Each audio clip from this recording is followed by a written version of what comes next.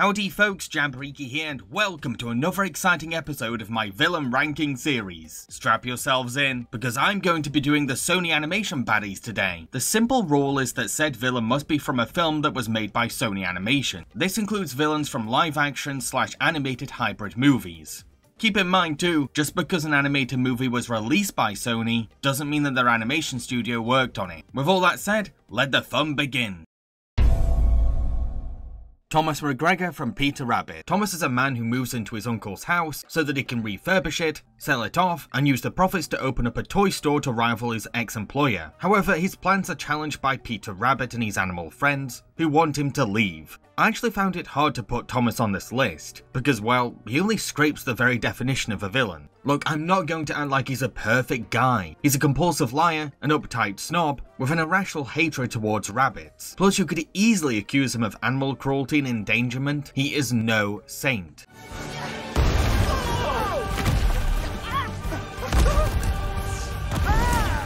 The thing is though, the film makes me sympathise with him so much, and despise our annoying supposed hero Peter Rabbit to such a degree, that I found myself rooting for an intended villain. I am not a bad guy. You turned me into this. I am a nice person.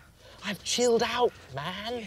I'm cool now. Life has unfairly battered and bruised Thomas. He was tragically abandoned by his own parents as a child, which made it difficult for him to connect with people. Oh, and despite being amazing at his job at Harrods, he lost his promotion due to nepotism, which made him have a humiliating public mental meltdown.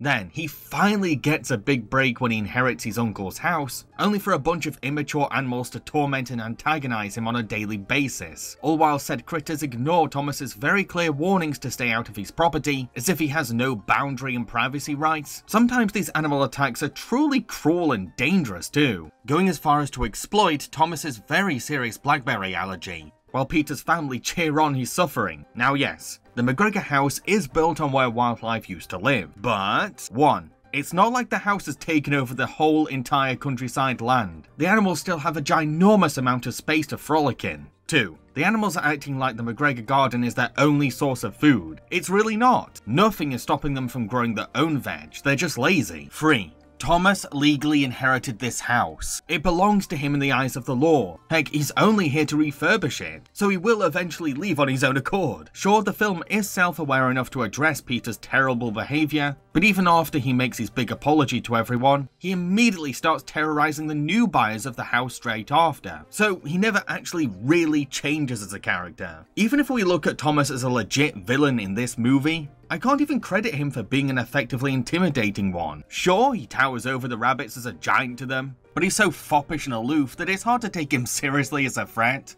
Hold it. Hold it. Thomas! Morning. Plus, I can't enjoy him as a comedic villain because our heroes take things too far to make the slapstick funny, or the movie straight up rips off better comedy. Kids are likely to laugh at all of his pratfalls, but children might also feel bad for Thomas too. I'm all for a sympathetic villain, but Thomas is so pitiful that he fails to even work as a good villain. Abraham Van Helsing from Hotel Transylvania 3. Abraham has been obsessed with slaying monsters forever and ever. Fed up with losing, he tricks every monster into joining a luxury cruise, but it's actually a trap, in which Abraham plans to musically hypnotize a kraken into killing all monster kind, all while his granddaughter pretends to be the captain who keeps disobeying her grandfather by trying to kill Dracula before Abe can play his evil tune. I'm sorry, but I've come to find Abe to be a pretty boring villain. I get it, he's a lesson on how obsessive hate can end up destroying a person's health and happiness. He's barely human anymore after immortalizing himself as a decaying half-machine monster hunter. Time passed and my body began to fail me. Oh, it was so sad, Erica. First my liver, then my spleen. However, beyond this setup for his character, he doesn't really get to do much in the movie itself, because he has to stay in the basement while Erica acts as the cruise's face. All he can do is nag at Erica while being cooped up in the lowest deck. Just where have you been, young lady? Uh, doing the work? Wearing that? When Abe is finally granted a chance to reveal himself, he ends up dragging the film down with a music standoff. Not only does Van Helsing's evil melody become very grating to listen to, because it's so repetitive and obnoxious, but the monsters fight back with pop songs and an excuse for dance scenes, and popular culture references. This finale goes on and on and on, with the only joke being, Hey audience, recognize this famous pop song? Isn't it funny that these monsters are dancing to it? In the end, the monsters show mercy by sparing Abraham's life, in an attempt to show that monsters mean no harm. But come on, this villain just threatened a planned genocide. So I think it's too late for him to redeem himself or gain my sympathy. I'm sorry. I'm really not a fan of this Van Helsing. He's boring when he does nothing, and ruins the film when he finally gets to do something. King Herod from the Star. When three wise men inform King Herod that a new king is destined to be born, His Majesty asks his personal hunter to go assassinate this baby messiah.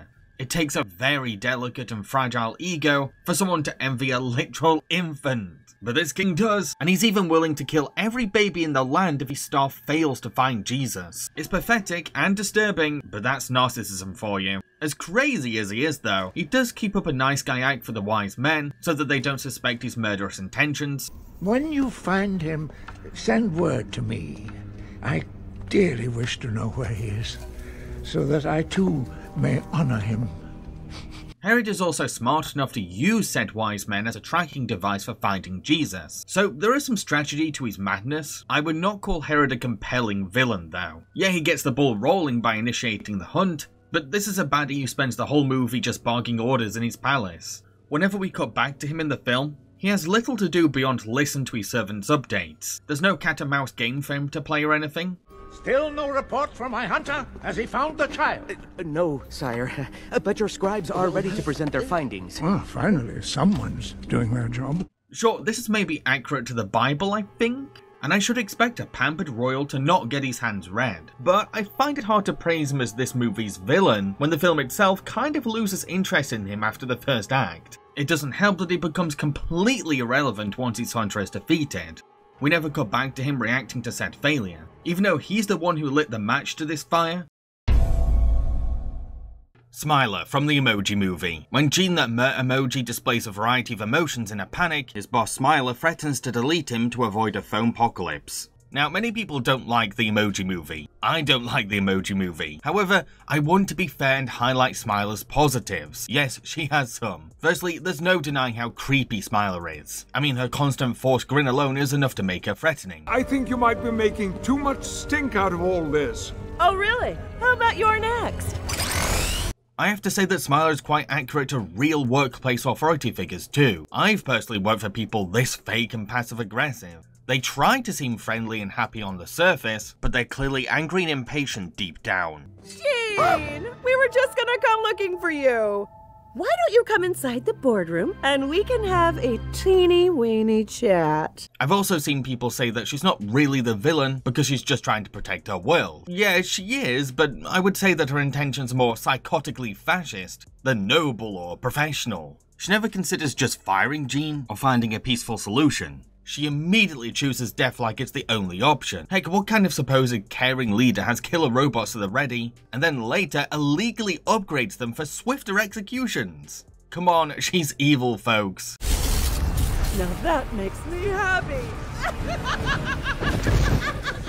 With all that praise and defense out of the way, I still think that she's one of the less enjoyable Sony villains. She's a one-dimensional baddie who is completely defined by her emoji. I am the system supervisor here because I was the original emoji. She's also nowhere near as funny as Sony thinks she is. All her jokes are entirely limited to bland gags about dental care and appearance. Oh, we can't laugh at her being humiliated or losing, because she can never show real embarrassment or anger on her face.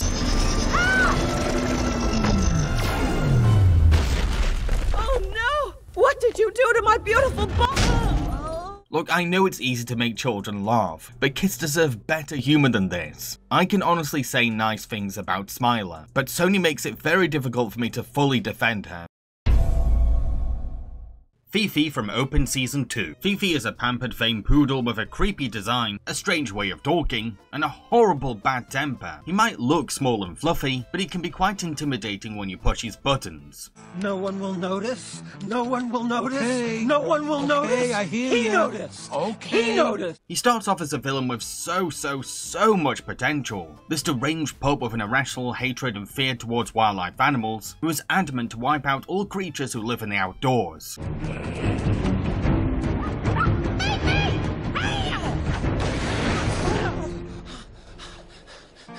One day, you vile little beast, one day I will personally teach you a lesson you will never forget! This prejudice stems from a hilariously stupid traumatic memory that all boils down to Fifi being a total wuss and has nothing to do with wildlife's possible real threat. When suddenly.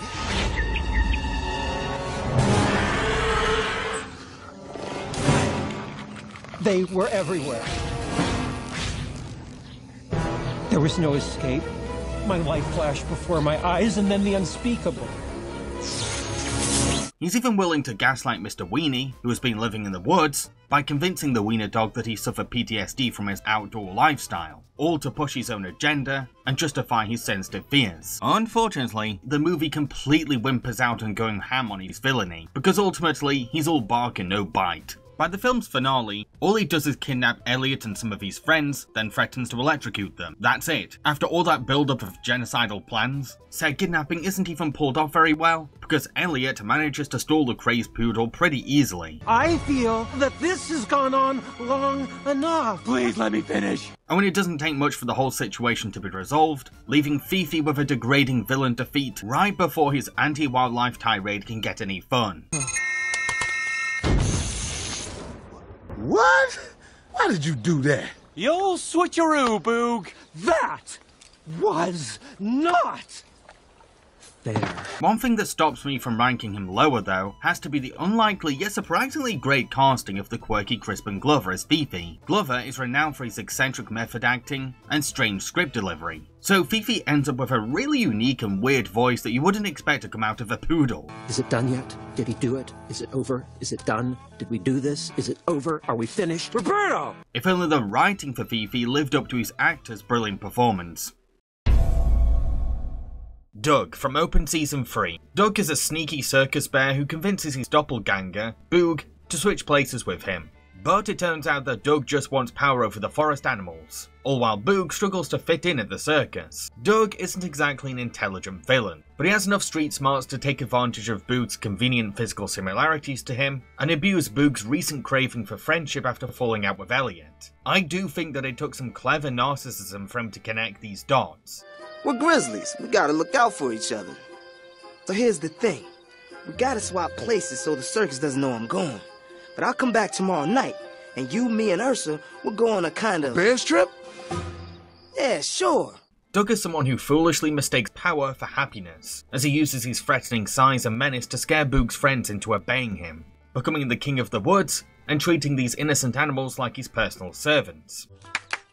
Doily, make sure you get that spot right by my third... Oh, yeah! However, Open Season 3 is all about the importance of mutual respect and friendship. It uses Doug's arrogant neglect of these animals' feelings to teach kids about the consequences of bullying. Sure, Doug has his own kingdom, but he has no real friends or family. A harsh reality that hits him like a train once he loses his crown, and sees how much Boog's real friends care about him. Ah. That Boog sure is one lucky guy. Yeah, it doesn't take that long for Doug to be outed. I mean, it's not like he could convince everyone that he was Boog, so his villainy is kind of short lived. But it is nice to see him going through an arc of appreciating friendship over power, and how he puts his development into practice when he returns home. Oh, I'm glad to see you.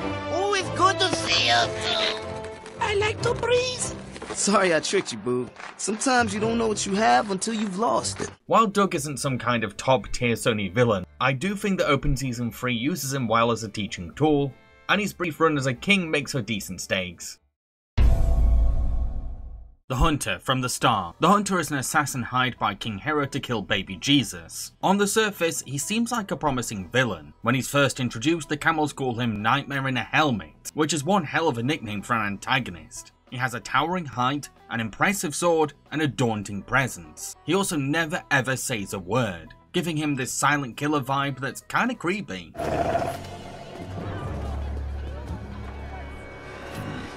Oh no! I'll take care of this. Let's also remind ourselves that this is a man who is willing to kill a baby. Even when he hears Jesus' cries, he still carries on his mission.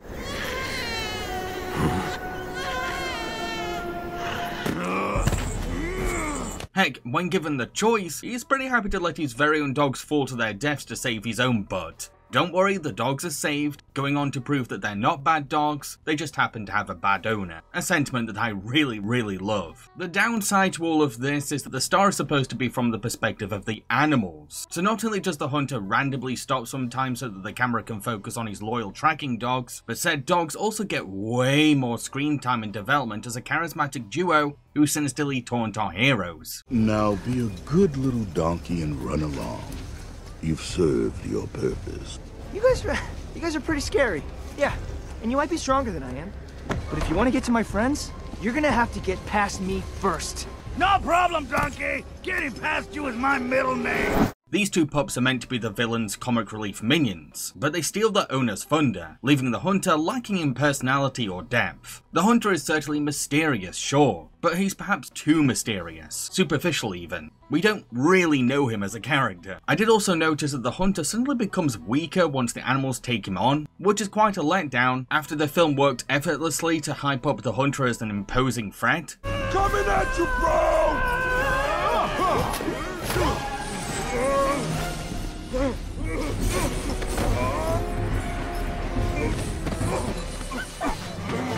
The Hunter had all the building blocks for a classic evil villain, but all of that is squandered for the sake of the star's choice to spotlight the animals.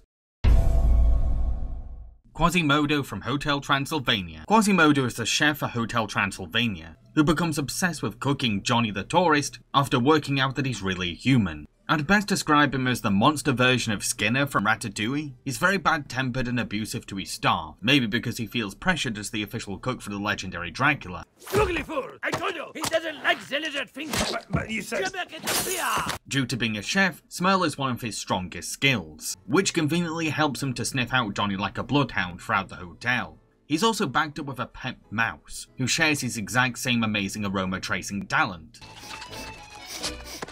Yes, keep smelling. You catch the human, and then I will make human what? I... But this is also the great Quasimodo, bell ring of Notre Dame, so he's also very skilled at swinging, a talent that gives him a massive advantage when escaping the hotel staff. Sure, Quasi is kind of a background antagonist for most of the film, but once his beloved Drac betrays him to save Johnny, Quasi ends up being the sole monster responsible for outing Johnny as a human, even though he's in a frozen state. He says Dracula has brought a human into the hotel.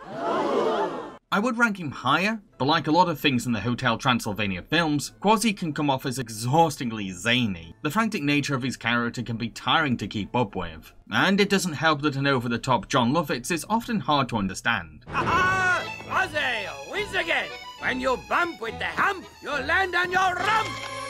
Despite his follies though, Quasimodo still makes for a fun baddie, reminding audiences that he was once a great horror icon before Disney came along. Tank Evans from the Surf's Up movies. Tank is a bully jock who serves as a sports rival for our hero Cody. He's pretty much everything you need for a good surfing movie villain. He's obnoxiously arrogant enough to make us root for him to lose, while we also enjoy hinting his taunts towards underdog Cody. Oh, come on now. Smile on your brother. Keep your girlfriend out of this. Hey, whoa, you can't do that to my friend. Wow, you're getting quite a workout there. Oh, that feels good. There's also this pathetic side to him that teaches kids how overconfidence doesn't mean genuine coolness. He creepily names all of his trophies after women's names and still lives under his mum's roof like he's never grown up. That's a sweet, sweet lady. Tank, are you posing your trophies again? I, I, Mom, I, I wasn't polishing, I was talking to my friends. But his most valuable purpose in the film is to demonstrate all the traits of bad sportsmanship. You see, Surf's Up sets out to encourage the idea that winning isn't everything, and friendship trumps rewards. Tank acts as the yin to this message's yang, by caring too much about shallow fame, and failing to be a good sport when he loses. So yeah, Tank is a decent villain in the first Surf's Up movie. Then, unfortunately, a sequel came along, in which Tank competes against Cody to become the new member of the Daredevil's gang, the Hang Five. Suddenly, all of Tank's taunts are now very phoned in. I'd never do anything to hurt you. Hey. But you should learn to stay out of my way. I'm gonna join the Hang Five no matter what. And he's become a whimpering suck up to all of these celebrities. Oh, that was good. Swell. Oh, Mr. McMahon. That's like the greatest surfing joke, maybe ever. Oh, so good! sure, he had a pathetic side before, but now he's lost all of his menace as the franchise's villain. No way, man! No, I can't do it! Tank, don't! But what bothers me the most is how the Hang Five responds to Tank's bullying. They either look the other way, condescend Cody, or worst of all, rile up their fighting until the boss, Mr. McMahon, cuts in. One, two, three, that's it! We have a winner. Speaking of, McMahon's reason for keeping Tank as a tryout, despite being a bully, is mainly to test the others and see if they can handle his antagonizing. Hey, Otter, if you want that kind of obstacle, then just hire a paid actor. Don't drag an actual abuser into this professional space. After days of Tank winding up Cody, Cody starts fighting back, causing Chicken Joe to almost get killed. Now, yes, Cody has been a hothead in this movie, and he did go too far this time. But Tank is at fault too, and the Hang Five are to blame for not being harder on him, all while they sent mixed signals to the tryouts over whether these auditions were supposed to be about competitive fighting or good teamwork. Yet the Hang Five put all of the blame on Cody for things getting this out of hand, while Tank plays innocent victim and faces no serious scolding of his own. you were doing so well too. To make things worse, the film forces Cody to redeem himself by, get this, having to save his bully from a storm to prove that he's a good guy. Is this some kind of sick joke? Sure, Tank is made to thank him after, but no one tells him to apologize for all of his bullying. What the hell Surf's Up do? So yeah, Tank had the potential to be ranked a bit higher, but Surf's Up ruined his chances with its terrible sequel that botched his role as a villain. Chester V from Cloudy with a Chance of Meatballs 2. Chester V is a famous inventor who runs the successful science company LiveCorp and is in charge of cleaning up Swallow Falls after the food apocalypse. But it turns out that feral food animals have taken over the island. So Chester assigns Flint with the mission to turn off the machine that's producing said food animals. However, Chester sees Flint's friends as obstacles in his secret plan to steal Flint's machine. So he tries to split Flint up from his mates. Look, I know that villains are supposed to be irritating, but I've always found Chester to be a flavour of annoying that's just not that fun. I've never found him to be funny as a comedic baddie, and his weird bendy animation has always made me feel queasy and nauseous. Ah, young Lockwood. Chester V. Uh, sir, uh, uh, I can explain everything. I thought I was gonna meet the real Chester V. You are? Oh, not me. Yes. Yes, it's me. Sorry about that. I can't even say that his manipulation of Flint is impressive, because Flint is already a huge Chester V fanboy who will gullibly believe anything his hero says. A bully can never be a friend. Never? Though to be fair, Chester does do a good job of being observant of the results of his manipulation. I also find his incentive for villainy to be kind of underwhelming. What does he want to do? Turn all of the foodimals into ingredients for his company's food bar, a product that's already on the shelf and selling just fine? He could have used all of this wasted time coming up with a new product. However, as cynical as I feel about Chester, I am happy to point out his positives. Like, the film is mainly about Flint learning to trust and appreciate his friends. Chester starkly contrasts against this very sentiment, as someone who is only friends with his narcissistic holograms of himself and an ape called Barb that he likes to abuse. This is why I work alone. Monkey! You are dismissed. Both of which end up betraying him in the end because they're not really his friends. You're going to be fine. We'll ah, you see, Flint? With my hologram. Oh, fudge. Owen Chester is a decent satire on the whole caring CEO of a utopian workplace myth. He might seem charismatic, friendly, and passionate about science's potential, but he's a businessman first and foremost. It's all fancy presentation and performance. Heck, when Flint arrives at LiveCorp, he's handed constant coffee, which might seem funny at first, but then you realise that his employees most likely only get free lattes to keep them awake for crunch time hours. I really don't like Chester V, but at least the film puts him to good use in a story about corrupt capitalism and the value of real human connection. Gargamel from Smurfs to Lost Village. Gargamel is an evil wizard who is adamant to find a lost village of little blue smurfs so that he can drain their magic. This animated take on the character is backed with some very strong comedic material. His jokes that land outnumber his few duds, because Gargamel always has something funnily stupid to say. Trees? Must be a symbol for something or a code. Trees, trees, breeze, knees. Babies crawl on their knees. Check all the nurseries in the area. Or has hilarious reactions to adventure obstacles. Oh, Devilfish! Where is my lost Smurf village? But even though he's a comedic villain, he can still be quite the manipulator. Like, he tricks the Smurfs into attracting a live swarm in one scene. Hey, you. You're the clumsy one, right? Huh? Think fast. I caught it! And he takes advantage of the Smurfs' natural kindness to steal their raft. He's also creepily skilled at gaslighting Smurfette into believing that she's inherently evil, all because he's the one who created her. He uses her fragile self-doubt to convince her that her true self is pure darkness, and that every mistake she makes is actually her natural villainy at work, which is really messed up to tell someone. My little creation. You finally did what you were made for. No, it's not true. Of course it is. Why do you think you led me here? Why do you think you saved me on the river? It was all part of the plan. You might be wondering why this Gargamel is the one I rank lower. Well, as much as I like him, voice actor Rainn Wilson plays him a bit too dry, making for a less nasty and vicious Gargamel. Sure, his style of delivery fits the film's sense of humour, but it also waters down the venomous malice that makes Gargamel Gargamel. The jiggler's jiggling, the spinny thing is spinning, the smoke is going up, the bubblers are bubbling. Don't get the wrong idea, I still find him to be fun, but if I'm having to pit both Gargamels against each other, I had to find a reason why one loses. Gargamel from the live-action Smurfs movies. In the first Smurfs film, Gargamel ends up chasing after the Smurfs in New York City. He's a very active villain who is determined to catch the Smurfs despite being stuck in a strange otherworld that's easy to get lost in. Even when he attracts the attention of a cosmetics company interested in his magic, he still prioritizes the Smurfs while enjoying their pampering. So do we have a deal, senor?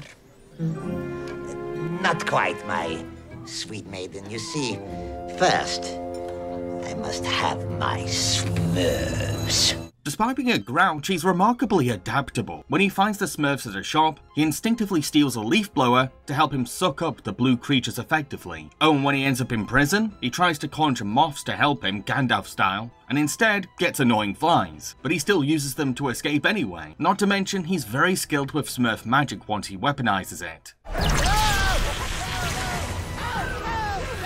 In the second movie, Gargamel works with his minions Hackus and Vexy to seduce Smurfette into his family of villainy, so that she will surrender the formula for Smurf magic to him. Yes, Gargamel does manage to win over Smurfette, but this is mainly because she's very gullible and let a surprise party misunderstanding make her think that the Smurfs hate her. So it's less of a credit to Gargamel's nice guy act, and more just Smurfette being kind of dense and impulsive. I mean, it's only been a day. That being said, there's something truly awful about how he hangs Hackus and Vexy's lives over Smurfette, cruelly refusing to save them unless she hands over the formula. He uses his very own dying kids as bait for his evil scheme. Besides, I am not the one letting them die. You are. Ah. So yeah, the writing for live-action Gargamel has its ups and downs, but there's a surprisingly decent amount of positives here. However, what makes him the better Gargamel to me has to be the brilliant Hank Azaria, who goes all out in his performance. It's the gold standard of cartoon to live-action acting. He really is the cartoon wizard brought to life in 3D. Behold the awesome power of I don't think his acting needed any kind of improving. He totally embraces the rotten horribleness and slimy nature of the despicable wizard. Sure, the comedy writing that Hank is working with is hit or miss, but he always puts in 150% for every line delivery, and makes all the jokes funnier than they probably are on paper. Are you kidding? She's like the hottest girl in my department. Oh, please, please, please, young, young woodsman. What does the temperature of this lily have to do with the finding of Smurfs? Take your meds, man. What? Uh, uh, is everyone in this realm completely insane? So yeah, it's mainly Hank Azaria who sells this Gargamel for me. What a legend. So, we're halfway through this video, and I would just like to let folks know that I have a Patreon, a website where you can give monthly supportive donations to creators in return for awesome rewards. Feel free to become one of my patrons today. Zeta from the Angry Birds movie 2. Zeta is a Philippine eagle who despises living in a frozen palace. To improve her life, she starts bombing innocent islands so that she can scare the residents away and have her very own tropical resorts, while getting over her breakup with the mighty eagle. Zeta is certainly a threatening diva as an animated villain. She commands herself with a fiery sass while framing her fascism as an act of defined independence, which it really isn't. I am putting myself first because you know what? I worked hard for it and I deserve it. She might be a colourful looking bird, but she's pretty damn cruel and evil. I mean, her employees are terrified of her because she's willing to punish them through ice related torture. But she knows how to motivate her people into siding with her colonization. My fellow eagles, who's tired of living in an icy wasteland? What is she doing? Who is tired of sipping hot chocolate and getting brain freeze? Oh! But she's also a very creative and strategic baddie too. When her heroes decide to have a meeting to stop her, she cleverly bombs said get together before their mission can be planned any further, which is a pretty intelligent tactic as a tyrant. Oh, and she's quite the science whiz, so she has the knowledge to turn her wild, imaginative cannonball ideas into a reality. You just gotta get a polyacrylamide to enhance the nanoparticle and surfactant association between the two materials. Uh, okay. As fun and awesome as she is as the movie's baddie though, the film's attempts at humanizing her just do not work. Like the movie tries to make us feel sorry for a breakup and having to raise a child alone, which sure are sad things, but it's hard to totally sympathize with or relate to her backstory when most normal people don't turn into Bond villains after being dumped. What annoys me more though, is that the film ends with Zeta being very easily forgiven and getting married to her ex, while our heroes act like her life endangering scheme was just a silly oopsie daisy. Not only because they're being joined in holy matrimony, but also because one of them tried to destroy our islands oh. for her own selfish reasons. Guess who? She should be in jail after what she did, but no, the movie wants a cute happy ending for its entitled tyrannical dictator. Slappy from the Goosebumps movies. Slappy is a ventriloquist dummy who was created by children's horror author R.L. Stine and has escaped the pages of the world that Stine invented. In the first movie, Slappy makes for a very fun villain with a wacky personality and deranged evil. Do I find him scary at all? No, not really. He's too silly to be truly intimidating. I guess more sensitive viewers will be spooked out by him, but I think that the movie oversells how scary he really is. God, he's so creepy. But this isn't a bad thing, because he's really entertaining as a comedic baddie. A lot of his appeal really does come down to Jack Black's charismatically campy voice for him. I come in peace, unarmed. I just want to read you a bedtime story. Sir, shut your mouth! Okay, that's not gonna stop me. Put your hands where I can see them. Officers, you've been relieved of your duties. The choice to cast Jack as both Stine and Slappy creates a parallel between creator and creation, which I guess is profound, but the film is very condescending at getting this across to audiences. I know you. I created you. Or is it the other way around? I always forget. We're so similar. It is impressive how he's able to band together an army of Stine's most horrible creatures in a mission to stop Stine from finishing his book. I mean, he's a small, flimsy dummy, so he needed his family of wretched monsters to back him up.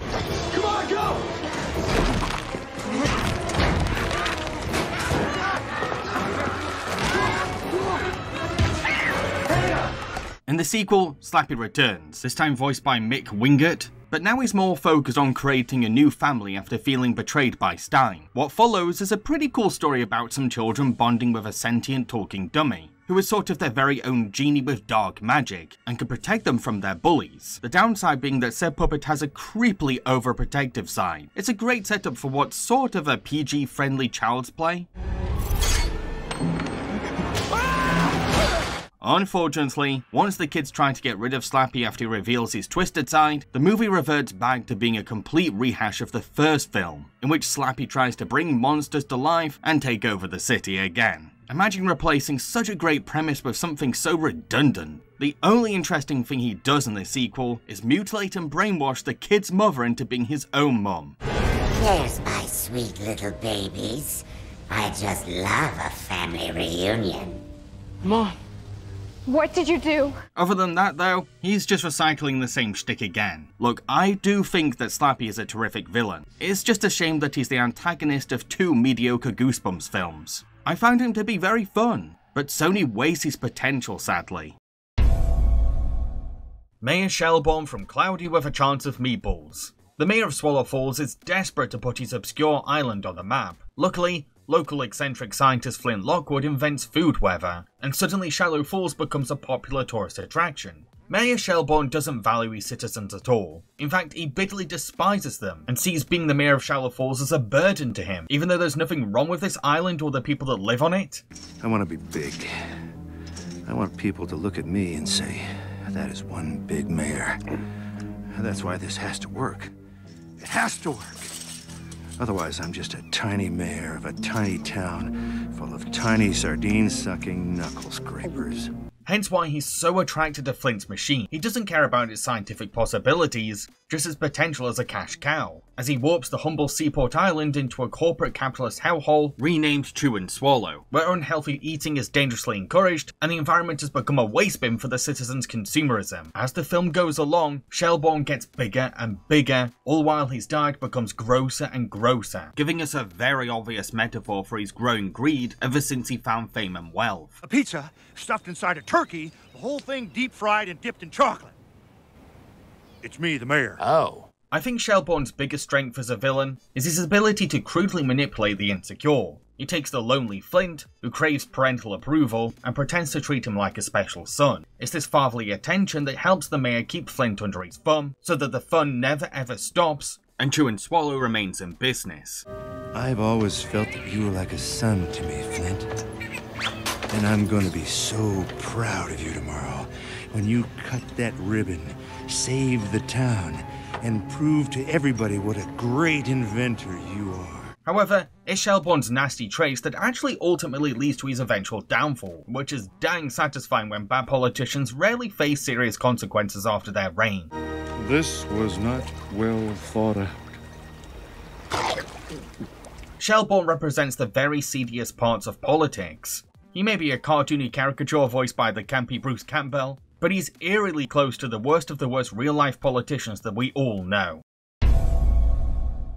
Erica Van Helsing from Hotel Transylvania 3. Erica is the great granddaughter of Abraham Van Helsing, who taught his granddaughter to fear and hate all monsters. She agrees to pretend to be the captain of his fake luxury cruise, all while she tries to kill Dracula early, only to realise that Drac is actually a charming romantic with a big heart. Now, yes, I do think that Erica's relationship with her granddad lacks chemistry and development. The same plotline was done much, much better in Lion King 2, because it actually explored the villain's bond with her son and how she groomed him into a killer. However, I still see Erica as a terrific character in her own right. She draws as both the villain and the love interest, which means that we end up with a romantic female lead who is refreshingly quirky, emotionally complicated, and very expressive. She's almost like a dog parody of the female love interest trope. Because she was raised to see monsters as evil, she feels justified in trying to slay Drac. Heck, she's probably been made to think that she's actually a hero on a noble mission to protect humanity. However, Drac helps her to not only see monsters in a different light, but also question everything she believes. I understand. Family is everything. You have to honor the past. But we make our own future while also throwing a fawn into a monster hunting, which has been trained to be skilled at. Dracula, Dracula, Dracula, Dracula, Dracula, Dracula.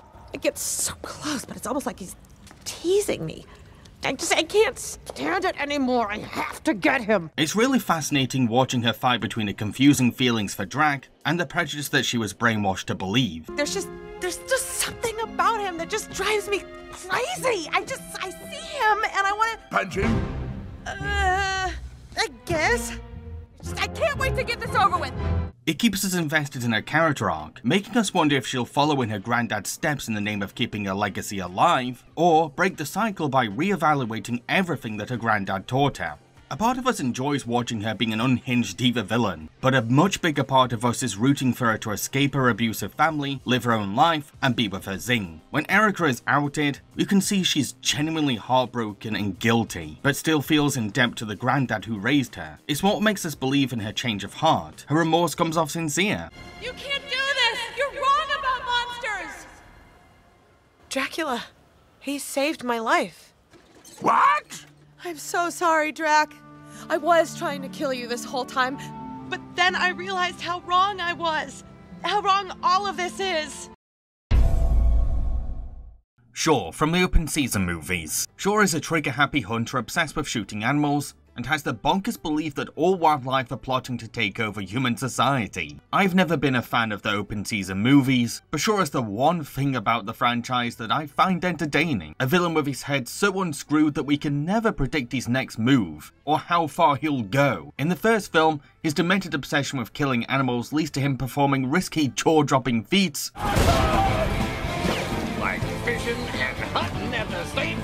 and even eventually trying to fight a bear without his beloved gun.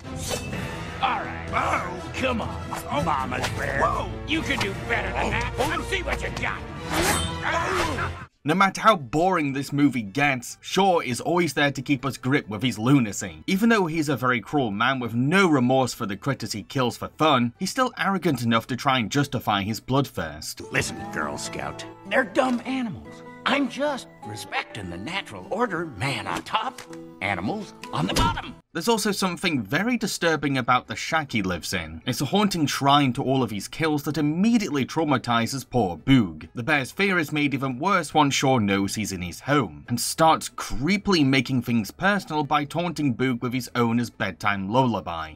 If you go out in the woods today, you're sure of a big surprise. The open season sequel, Scared Silly, is a mediocre Halloween special, but Shaw returns this time and makes it at least watchable thanks to his bananas personality. I don't see anything conclusive here, Shaw. Thought you might not, Sheriff. Which is why I drew a detailed sketch. I was skeptical of werewolves until I saw the drawing. It's just a shame that Scared Silly makes him a little less scary, and this time leans a bit more into making him a walking punchline. Good news is, as a nature guide, I can still shoot whatever I see. With a camera. Oh, what a cute camera. For some reason, he's joined by two goofy Canadians this time. I guess little kids will find the trio's comedic routines funny. My gut tells me that we'll find our werewolf in Dead Bear Gulch. Oh, well, this is gonna be easy. The werewolf is right there next to that X. That's why I love you, Edna. You're good at reading maps. Imbeciles. But I just don't buy that Shaw of all people is longtime friends with these idiots. To be honest too, I much prefer Shaw as a secluded gunman who has lost his marbles from living alone in a forest. However, Shaw is too great of a character to have a bad sequel ruin his legacy, hence why he's made it this high on my ranking. Bela from Hotel Transylvania 2. Bela is a man-bat creature who is repulsed to learn that his master Vlad's grandson, Dennis, is a human-vampire hybrid, who is zinged with a monster. Bela is a surprisingly scary character for a Hotel Transylvania monster. Most creatures in these films are goofy or silly, reminiscent of the monsters. Bela though, he's more like the grotesque Count Orlok. He has red piercing eyes, animalistic traits, and a fiercely aggressive anger. He represents the old-fashioned roots of vampire lore, believing in values that are now outdated and primitive to modern monsters, from a strict concern for romantic tradition to an irrational hatred towards all humans. It's kind of messed up that he kidnaps a child in the name of these so-called traditions, even bullying the poor kid for not living up to his idea of vampiric masculinity. And what are you gonna do about it? I don't know. You know why you don't know? Because you're just a weak little boy. However, once Bela hurts Dennis's best friend, Winnie, the Tyke's fangs grow in and he gets to be who he wants to be. Not a classical vampire or a humble human, but a bat-like superhero. All of Bela's judgmental lecturing is smashed into pieces because Dennis shows that it's his sweet compassion that gives him the strength to kick this bigot's ass.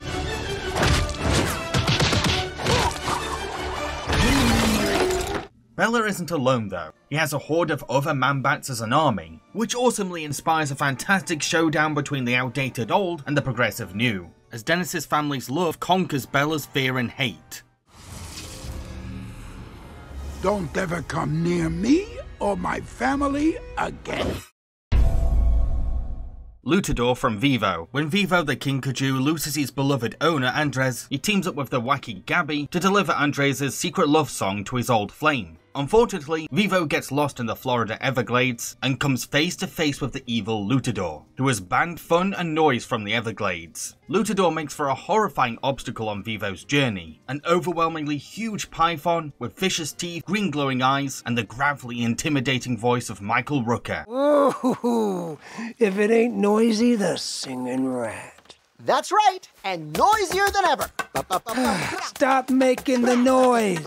Even Gabby's Girl Scout friends say that Vivo, scientifically, is totally outmatched against this beast, which pushes Vivo to use his energetic agility, something he's developed from years of public performing, to dodge the Python's attacks, and tie the villain into a humiliating knot. Get me out of here! Oh! Woohoo! Yay! Good job, Vivo! Yet Lutador only appears for one scene towards the end of the film, but he's actually very important to the movie, and deserves credit for his role. You see, this film explores the themes of grief, bravery, and self-expression. Not only is defeating Lutador a test for Vivo's courage, and a realization that he now has someone else to care for after losing Andres, but the fight against Lutador is also a fight for the Everglades animals' freedom of expression. Lutador technically might just be a cameo in Vivo, but the film geniusly weaves him really well into the movie as a whole. Vivo would not be the same movie without him, I think. Pockets from Wish Dragon. Pockets is a crook hired to steal a magic teapot containing a wishing dragon from a man called Din. However, once Pockets realizes the real value of said teapot, he betrays his employer and keeps the prize to himself. To me, Wish Dragon is Sony Animation's most underrated movie, and I find it so sad that it doesn't get celebrated more.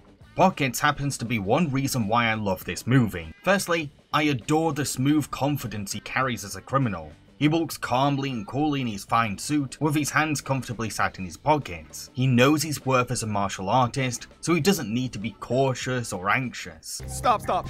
Stop right there. Put your hands where I can see them. Oh, I'm afraid that's not going to happen. Uh, you first, man. Okay, sir. You're under arrest. Hold on a minute there.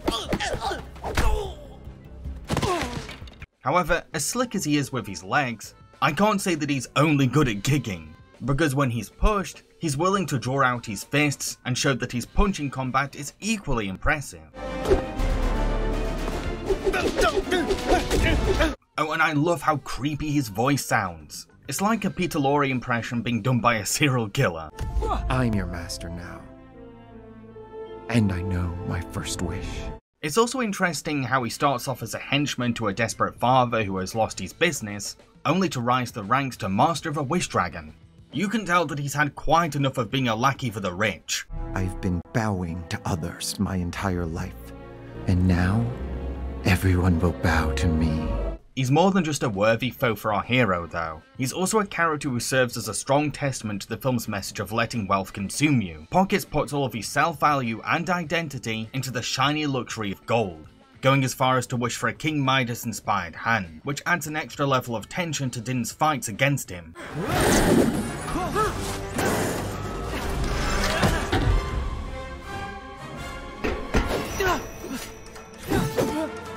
Get him, boss. Touch him.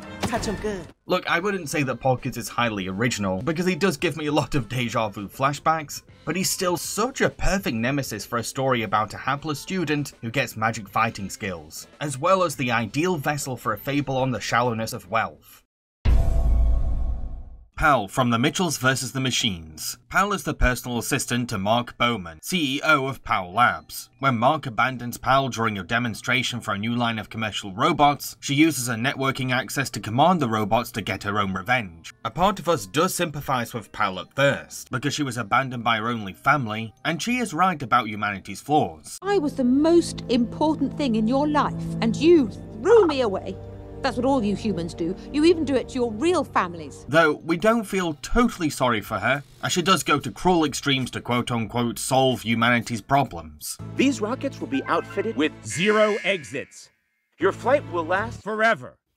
And your final destination is the black void of distant space. But we also have free Wi Fi. And she isn't without her own lack of ethics. From abusing user data privacy to research all she can on the Mitchells, a family who is coming to stop her, to demanding that humanity develops robot level perfection to justify their existence. Now, yes, Pal has quite a few disadvantages as a villain. I mean, she's a smiley faced, hand sized phone who can't move without someone else's help. However, she can be very expressive and sometimes her expressions are mildly intimidating. Plus, the film often embraces her tininess for its trademark self-aware humour.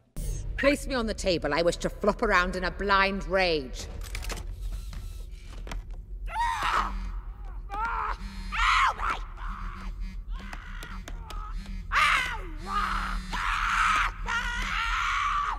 Oh, and she very much compensates for her stature by reminding audiences that she has total power over the PAL network, an Apple-sized corporation that owns most electronics in this film's universe. Delicate love and fold. Not only does she have control over PAL's official robots, but she can also use their exact same technology to improve on said robots with her very own superior creations. What a sucker. Yes, my queen. Whatever you want.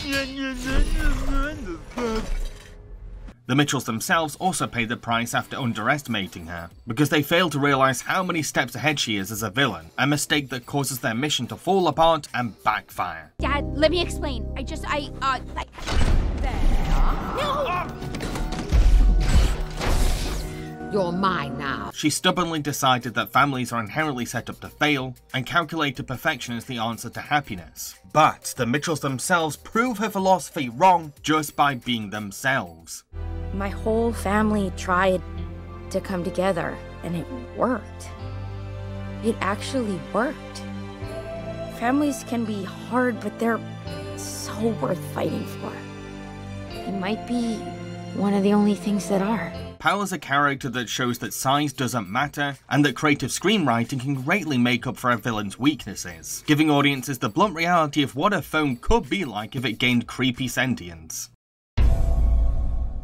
Dr. Olivia Octavius, aka Doc Ock, from Spider-Man Into the Spider-Verse. Olivia is a scientist who is helping the Kingpin with his Multiverse Collider project, sort of his partner in crime. I could say this about all the Spider-Verse villains, but hot damn do I love this Doc Ock's character design. The messy workaholic hair that shows her obsessive investment in this project. Those cool goggles! But I mostly admire how unique her tentacles are. They're rubber and inflatable, so they can stretch amazingly far, while still making for effective claws that can pack a wallop. Said tentacles can also help Olivia catch up with the swinging rhythm of any spider hero, which is very useful during a riveting chase scene. Oh, and they're also the ideal gadget for combat against her enemies in a large Hadron Collider full of gravitating objects.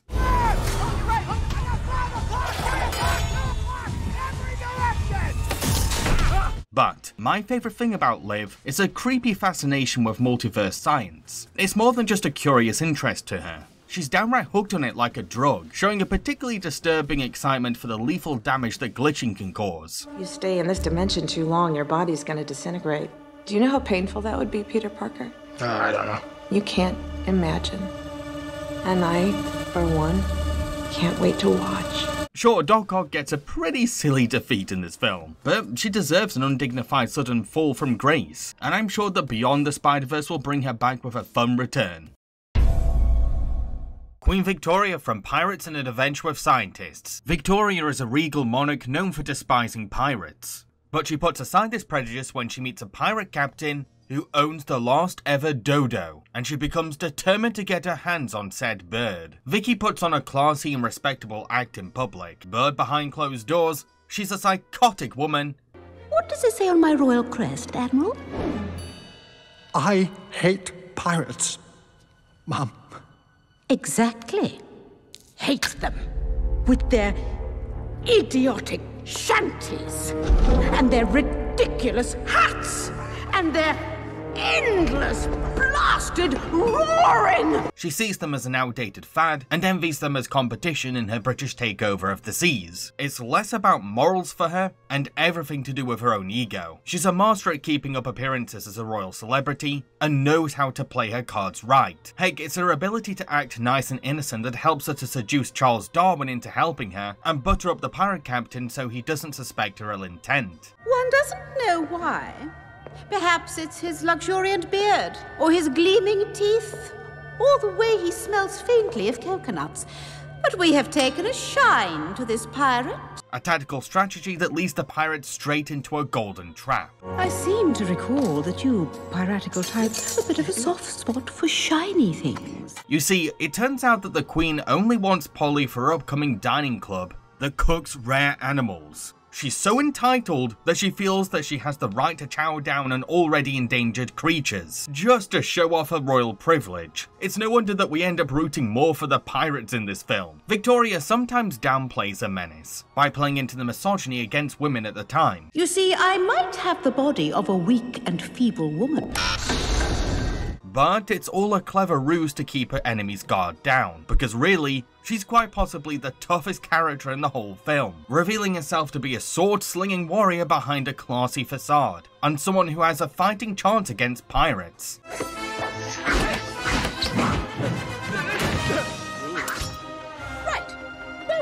Queen Victoria goes to show that if a company collabs with Aardman, then there's a big chance that the film will have a memorable and entertaining villain that audiences will love hating. The Spot from Spider-Man Across the Spider-Verse. The Spot is a supervillain who is basically a mutant portal humanoid. I guess that's the best way to describe him. There's a lot of great comedy to seeing this nerd being desperate to be taken seriously by Miles. The Spot has convinced himself that he's Spidey's greatest nemesis, but Miles doesn't even know who he is. So the personal rivalry is all in the Spot's head.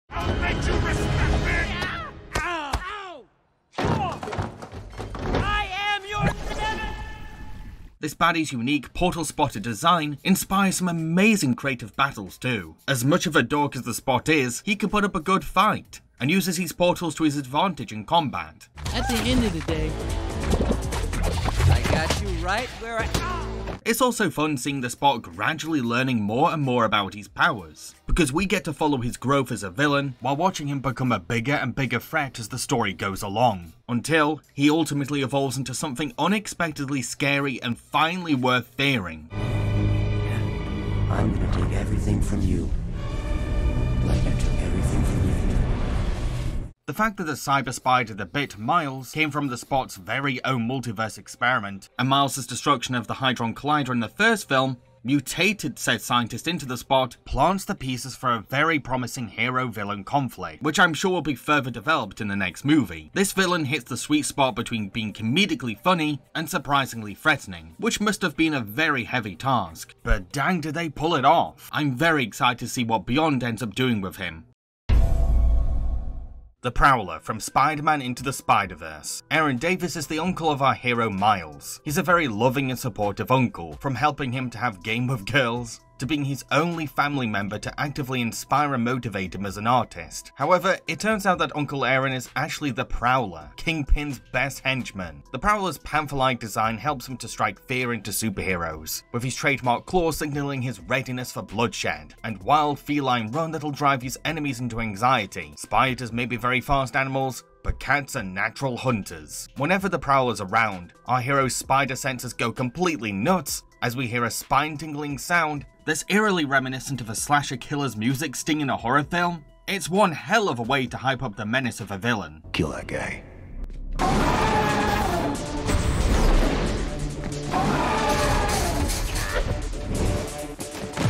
The tragedy that the Prowler is really Aaron is a sad one. He's a man that Miles looked up to as a role model, but he's actually a lackey to New York's worst gangster. Though this is the kind of path that the working class can take when they feel like they have no options left. Especially in a society that's unfair to people of colour. Sometimes a career choice isn't really a choice. I'm sorry. I wanted you to look up to me. I let you down, man. I let you down. The only criticism I really have towards Aaron is that he was willing to kill a child until said kid turned out to be his nephew. It does beg the question of how far he would have gone as a hired assassin. However, Aaron is still a victim of the predatory crime world, an industry known for exploiting labor from the disadvantaged. He was betrayed by his own boss just because he refused to slay his own nephew. Birdie still left behind a legacy that inspired Miles as a person. Before I talk about my number one pick, please know that I've made other Sony animation videos on my channel, so consider checking those out after you finish this video. Thank you. Kingpin from Spider-Man Into the Spider-Verse. Kingpin is a New York mobster who is building a Hadron Collider that'll help him enter the multiverse so that he can locate a world where the family he lost exists. But a gang of spider heroes plan on thwarting his project because it will cause an apocalypse. Kingpin has a really, really, really intimidating bulky design, and he knows full well how intensely threatening he comes off. You're not going anywhere. He's an imposing and brutish giant thug with a cold, heartless attitude to killing people. It's his remorseless nature, coupled with his bad temper, that makes him a frightening presence whenever on screen. He's not motivated by the typical villain cliches of power or money, but something more personal, that being grief for his family. Vanessa. Richard, come on. That's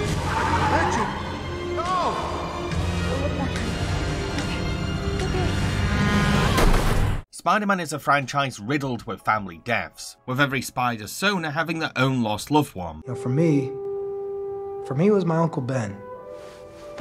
For me, it was my Uncle Benjamin. For me, it was my father. For me, it was my best friend. What matters is how a hero responds to said pain. While Miles comes of age and decides to not let his grief push him down a reckless path, Kingpin's pain of sorrow has made him feel entitled to finding a replacement for his empty void, even at the cost of endangering everyone else, only to learn that a doppelganger family will never accept him. Because he only has himself to blame for scaring people away. He created his loneliness when he chose a sordid life of underground crime. Kingpin might seem like he's just a big guy in a fancy suit, but the finale shows that he's actually powerful enough to rival any superpowered hero. This film's imaginative animated universe grants the gangster a reality-defying level of super strength that gives him the upper hand against a web-slinging Miles. The real Spider-Man couldn't even beat me.